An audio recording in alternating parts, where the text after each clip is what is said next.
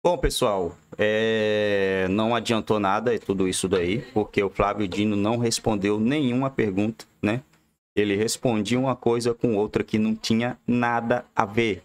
Ele foi sempre muito frio, calculista e debochado, debochou de todos os deputados da direita, né?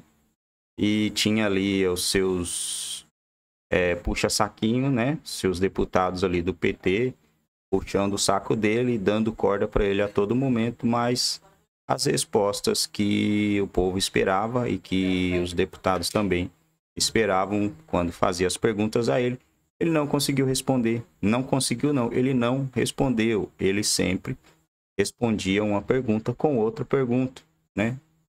Você é o entrevistado, então, quando ele ele está ali no papel de, de vamos para não falar uma outra palavra, né, de entrevistado. Então ele tem que responder as perguntas e não responder com outra pergunta, desconversando algo totalmente fora de contexto, totalmente fora daquilo que era para ele falar, né? Então aí é fácil, né? Aí é muito fácil.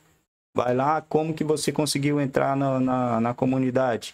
Ah, porque o Bolsonaro.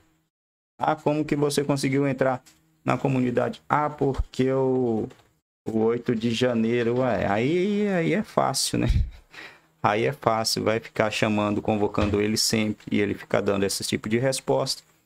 Fica fácil, fácil, fácil escapar. O Falcão deve ser destituído da presidência da CCJ por fala homofóbica contra Nicolas Ferreira. Será? Será mesmo?